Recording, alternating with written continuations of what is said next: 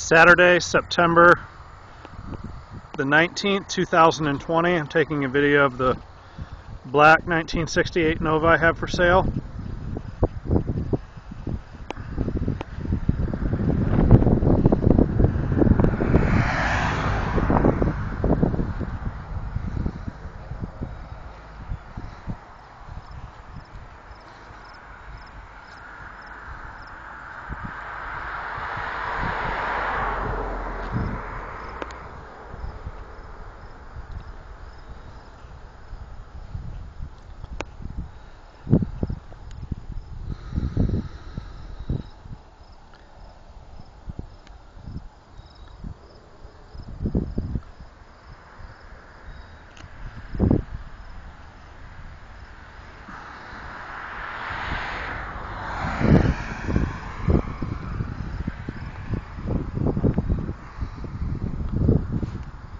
Upon inspection of this car, it appears that it's had a frame off nut and bolt restoration. I was given a folder full of receipts of uh, maintenance and care um, performed to this car since the restoration. It's been painted in a very expensive, high quality paint, not an economy paint, something like uh, Standox or Sikkens base clear. And um, it was built in New York around Staten Island by either a, a higher level or senior level law enforcement officer, uh, apparently a wealthy uh, person that uh, wanted to build from scratch, starting with an original sheet metal rust-free car a supercar um, based off of the 50 Copo Novas that were ordered through Fred Gibb in 1968 uh, and then allocated uh, many of them to Dick Harrell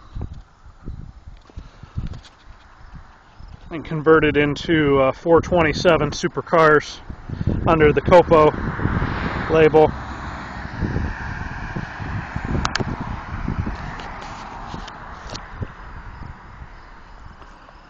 The uh, documented uh, authentic 68 Nova Copos with 427 of course sell for around $200,000. Uh, I don't represent any parts, options, or features of this car uh, guaranteed as original or born to the car. I do, do not guarantee any of, of those uh, parts, options, or features as original or born to this car. Uh, again, this was a car that was built from scratch, nut and bolt, restoration. It uh, is a factory sheet metal car.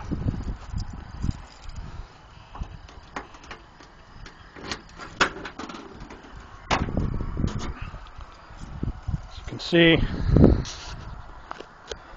chrome is very nice.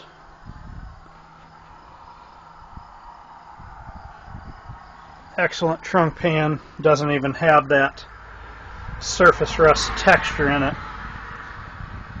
No seams or anything back here. The GM stamps in both quarter panels.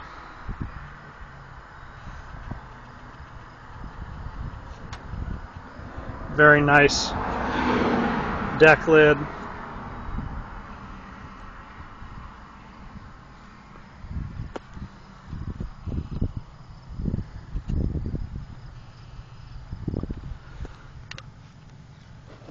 This car has had thousands of dollars of suspension modifications and it was done in a first class way, not a hillbilly hack job. All set up professionally and it looks very clean how the uh, frame connectors were put in in the CalTrac bars. This car and with the glare of the sun here. I should have waited till later in the day to take this video. But as you can see, the rockers have the factory pinch welds in them. The floors in this car are just superb. The exhaust system, even though it received a new exhaust system at the time of the restoration, here in the last uh, few months. The exhaust system was again purchased new uh, because the owner wanted to quiet it, prior owner wanted to quiet it down some. Now has a two and a half inch turbo muffler system on it. Sounds really good. The the grill is the correct argent silver. Detail work and bright work is, is nice. I don't see any any cracks in the uh, grill or anything like that. SS louvered hood. Paint has a lot of clear on it. Very deep shine. Looks like you can dive into the panels. Very reflective. Um, if it wasn't so bright today, uh, I think the video would be better. The uh, this is such a powerful car. Uh, it, it, the prior owner said he just couldn't control it without almost wrecking the car if he climbed into the throttle. So he had to put on these Mickey Thompson drag radials. They're a P255-60 R15. And uh, these wheels I have receipts for. The, the rims alone, the customer spent uh, like 790 some dollars to have the the rims and the offset he wanted size uh, to the built to look just like the factory you know no Copo Nova setup um, gloss black powder coating that was $200 uh, really nice wheels on the car. Tires are like new. If you look they still have the teats. Uh, have really no no mileage on them and these are a uh, street legal drag radial. They're a radial, so they they ride nice and they are street legal. Front tires are like new also. Well, look, uh, I'm not going to say full tread because they've been driven on a little bit, but they. I should call them full tread. That white, see the white between the treads? That's the um, that's the factory inspection paint on the tires it appears so and like the back the teats you know are still still hanging on there this was the only only year for the super sport emblems 68 on the lower fender panels it was also the first year for this body style and last year to be technically called a Chevy 2, which is kind of neat.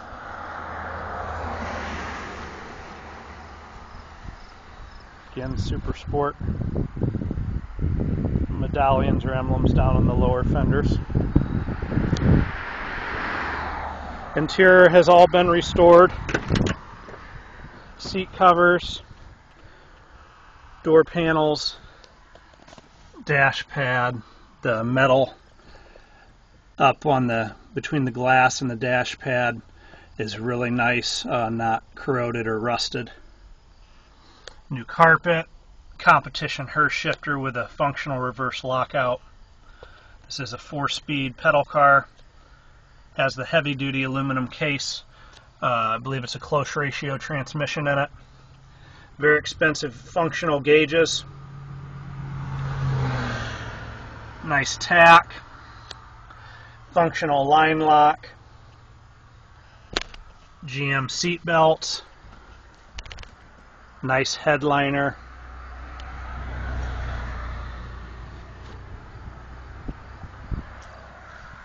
Clean uh, heater control instrumentation and speedometer. The fuel gauge does work.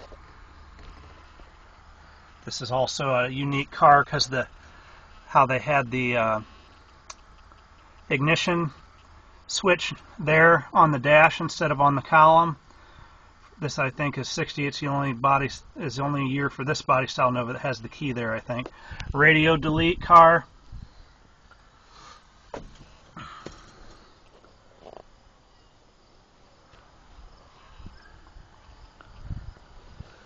The metal in this car is really nice if uh,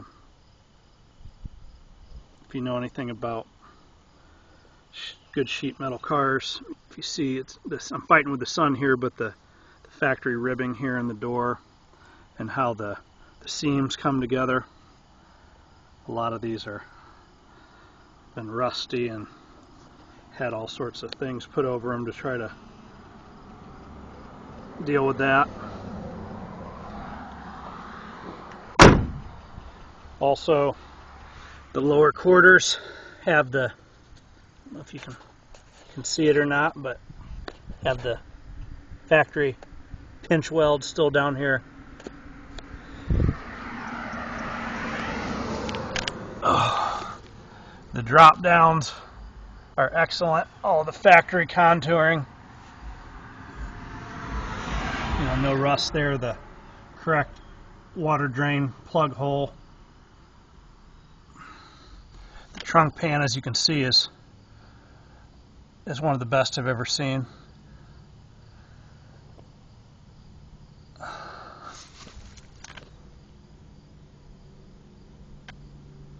Also looks like some uh, stamping here.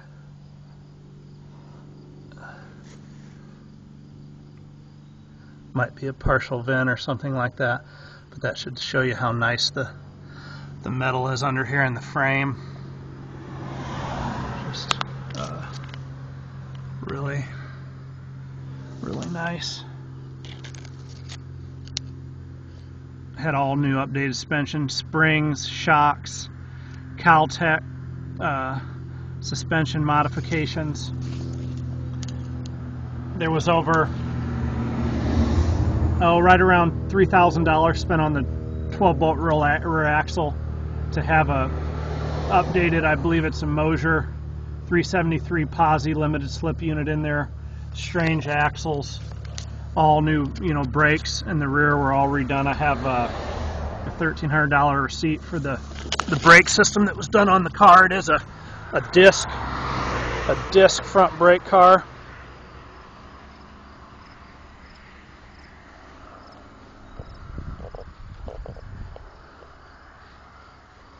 Some fingerprints here I need to wipe off from opening the hood. Very clean engine bay. And the the part number on these cylinder heads is uh, one I looked up on the internet. They say is more desirable for a street car than even the LS7 188 casting heads. Uh, they're capable of over 600 horsepower in a street car, naturally aspirated. Uh, has the big four-row radiator.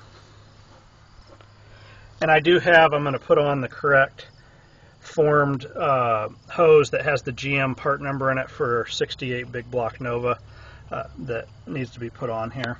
I don't really like like that aftermarket look. Uh, again, functional line lock. All new wiring was put in the car during the restoration. I don't know if you can see the clean color of the wires with all the sun glare. MSD 6AL box. The hinges were painted the right color, uh, silver like they're supposed to be, attention to detail in the restoration. Like the grill is a very nicely painted argent silver, not painted with a spray can or anything, but all you know laid out individually as a the car was put together, nut and bolt, and done just really nicely.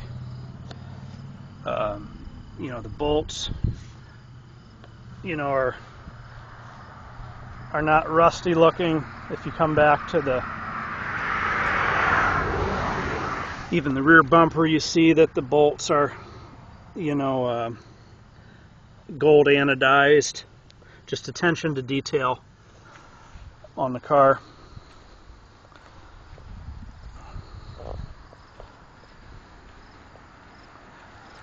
The 427 big block Chevy engine um, runs really well. It was just freshened up seven months ago. The heads received uh, all new valve guides and a valve job. Uh, guides were honed, of course. New stainless steel valves, all 16 of them. Competition cam valve springs, uh, ARP studs, um, rocker studs, and uh, it's tuned really well. runs really, really good. A really fast car. One of the fastest ones I've ever driven, actually, if not the fastest. But the nicely done car.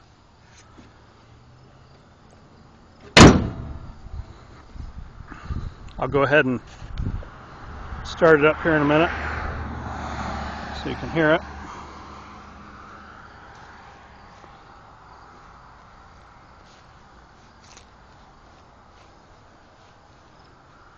Show you also uh, quality of the the metal on this door also. As you can see all that factory ribbing, very clean, rust free.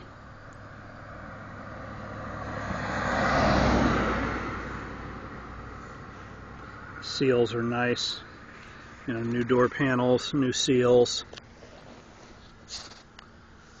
Let's see if I can get to the bottom of the door.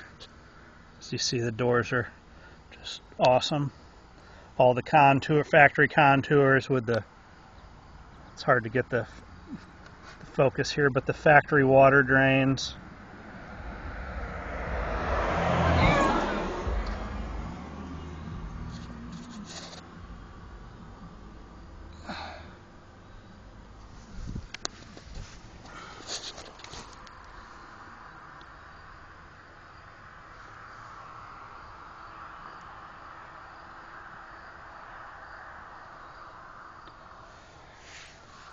And the doors on a factory sheet metal car if you know anything about why that's important. The doors just click right shut. You don't have to fight with them. They line up. The gaps are really nice and consistent. As you see again fighting with the sun but the gaps are very consistent and having the factory quarters is, is really nice because when most shops put these quarters on they don't get the quarters put back in the right position. And then they um, a lot of times they're too far forward and then they got to slide the door forward. And then the gaps will be crap up here and sometimes they'll even rub and chip the paint. And then they try to move the fenders forward to compensate. And then the grill and the doghouse panels don't fit right. But as you can see this car has all those you know, concours type, concours, whatever you want to call it, you know, number 10 type of gaps on it. And that's just because they started again with a, a rust-free original sheet metal car that uh, was already dialed in by Chevrolet back in the day and they didn't have to try to reinvent the wheel. You see the over here is the same, really good gaps.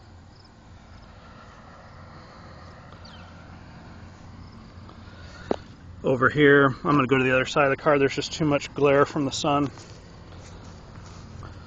But uh, over here, when you reach in underneath these lip quarter lips, they're just pure, nice metal in here. Uh, nothing back there that's been played with, just really almost perfect metal.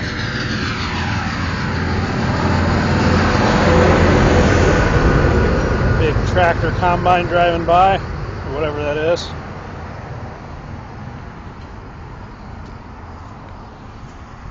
Try to maybe do a walk around again with another video when the sun isn't so bright.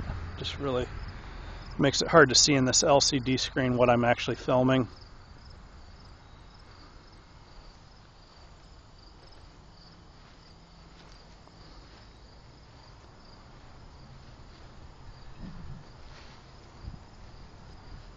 Paint has that nice deep luster. You can feel it's like you could dive into the panel.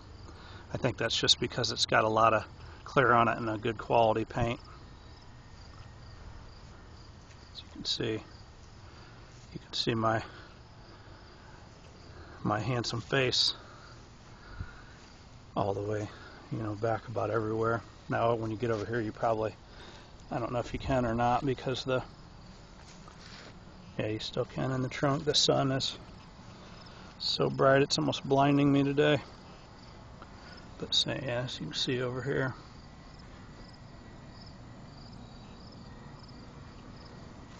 Window glass is really nice too. The windows roll up and down nicely.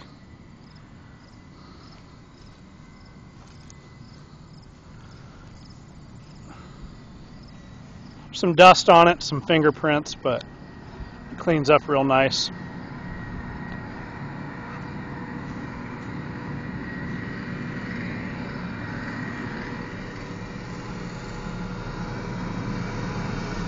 Paint on the dash.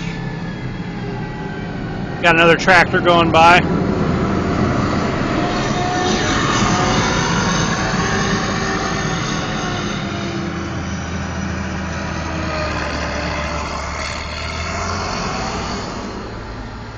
The paint on the, the dash, again I'm fighting with the sun, but you know where the ashtray is and the glove box paint is all really nice. It's not scratched. Again, new dash pad. That's about all I can think of. Hopefully you find this video helpful. Again in the roof, same thing. Nice reflection.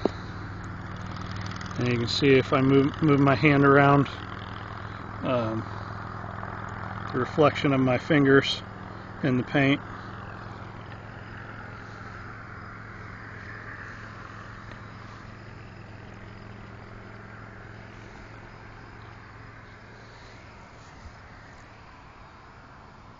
see the road, you know, everything in the reflecting in the paint.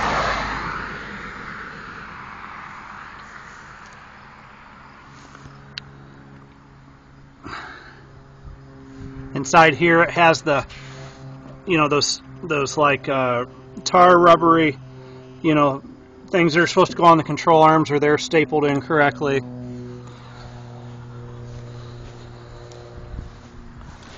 The the correct. It's got all the, the bolts to hold the inner inner fenders in and the correct, I don't know if you can see it, but the correct, you know, bolts and cup washers up in there. The, the frame is just, you know, super nice. Super nice frame. Again, uh, disc brakes, all rebuilt suspension and brake system, new springs and new silver shocks in there.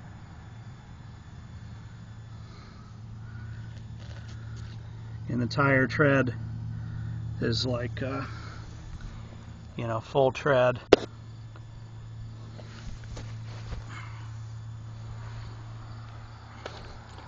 Oh, I forgot I was going to start it. Let me pause it before I end this video and I'll start this for you to start the engine. Okay, it started right up. Sits here and purrs right along around, you know, 700 RPM. Even though the temperature's, you know, like 160, it still carries at idle about 60 pounds oil pressure. Really good running, healthy motor, like in that was just freshened up seven months ago You can see it. Blows the grass around out of the exhaust. got a nice sound to it.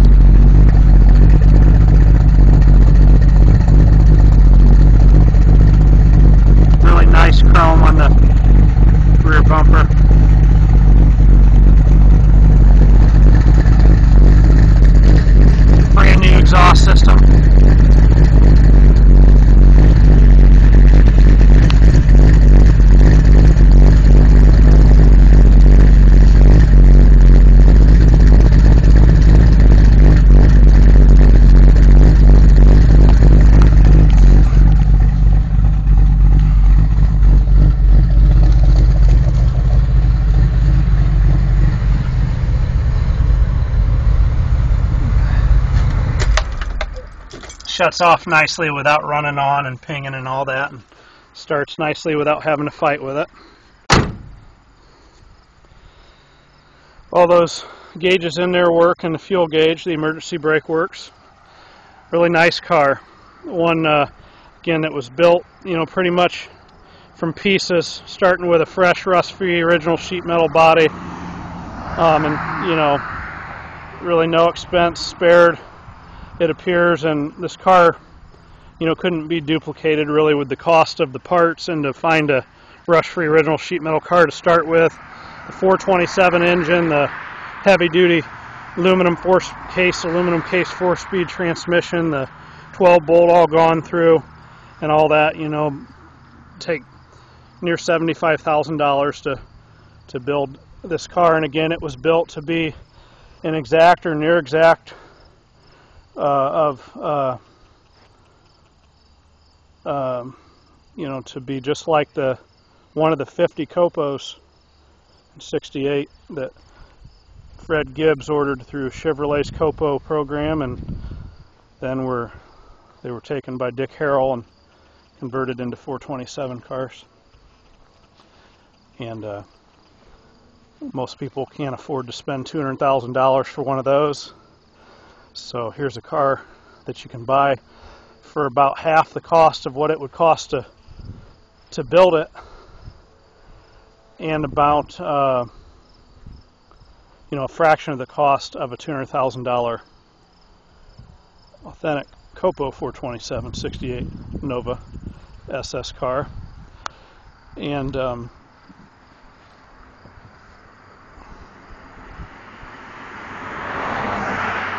something that is a just a really nicely done attention getter type of car. And um,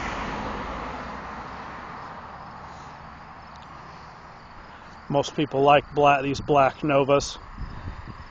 And uh, the 427 call outs with the big block four speed pedal car 12 bolt 373 posi just a a really, really neat, awesome car. And this is a car that can run on pump fuel and be taken to your local cruise night or car show event, driven around town, you know, on nice days during the nice weather. Uh, but then again, it's totally set up and ready to go to the drag strip with the functional reverse lockout. You know, all the, the tach, shift point set at about 6,000 uh, functional line lock, which is right down here. So if you're in the staging lane at the track, you can actually hold, put your foot on the brake, hit this button. As long as you're holding that button, you can take your foot off of the brake, do your burnout or whatever to lock up the front wheel so you don't roll past the line, help you get a good launch.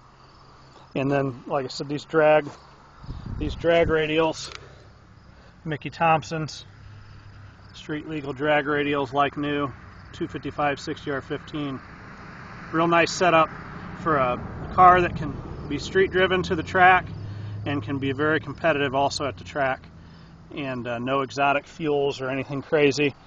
Um, pretty sure the cam and it's hydraulic, but it's a big lift, you know, high duration one that really works well. It's a good combination in here how it's set up, the, the gearing, the suspension, and how the engine was done is one of the, the quickest cars that I've, I've ever driven, and I've driven some, you know, really big cubic inch 700 lift, you know, solid lifter, 12 to 1 compression race motors, and this one seems to, to run just as good or better, and it doesn't even have, you know, that, you know, 7 800 lift cam, and it's not a race gas car, so it's, it's a pretty impressive, nice car. I think whoever uh, would buy it would be very satisfied with it. It's been, again, it was a, like a no expense spared restoration, nut and bolt, and um, only one guy's had it since the guy built it in New York, and he took very good care of it. He's the one that just had the motor freshened seven months ago. I have receipts for that. Um, but uh, that's all I can think of. I'll go ahead and end the video. Thank you for watching.